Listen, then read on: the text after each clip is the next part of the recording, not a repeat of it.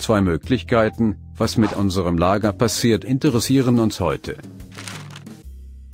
Wie wir die letzten Wochen gesehen haben, soll unser Lager schlanker werden. Wir können unser Lager behalten oder wir können es an einen externen Anbieter abgeben. Hierfür hat sich unsere Leitung bereits ein Angebot eingeholt. Wir sollen jetzt prüfen, ob sich ein eigenes Lager wirtschaftlich lohnt oder wir Kosten sparen können, wenn wir das Lager an einen externen Anbieter vergeben.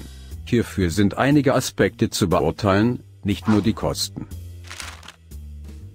Wir behalten unser eigenes Lager und sind auch selbst dafür verantwortlich. Dadurch hätten wir 24 Stunden am Tag Zugriff auf das Lager. Der Vorteil des eigenen Lagers ist, dass wir ständig Zugriff auf unsere Waren haben und wir der Produktion immer die Waren liefern können. Damit muss die Produktion nicht stillstehen.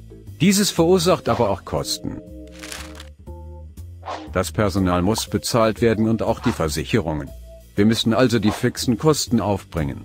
Dazu kommen noch die Kosten für Heizung, Kühlung, Miete und auch die Grundsteuer für das Lager.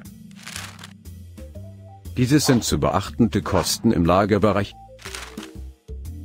Eine externe Lösung wäre ein Fremdlager.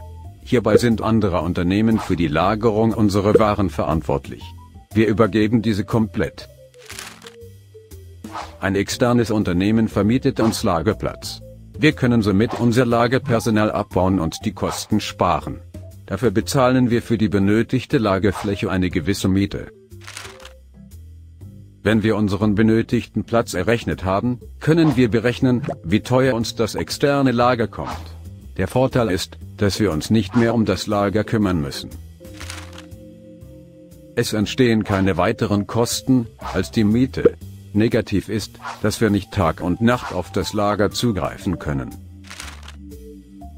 Beide Möglichkeiten sind es wert, bedacht zu werden. Letztlich ist ein eigenes Lager für die Produktion vorteilhaft, da wir eine hohe Lieferbereitschaft haben. Ein externes Lager verursacht gegebenenfalls weniger Kosten. Die Personalkosten entfallen bei uns und Experten kümmern sich um unser Lager.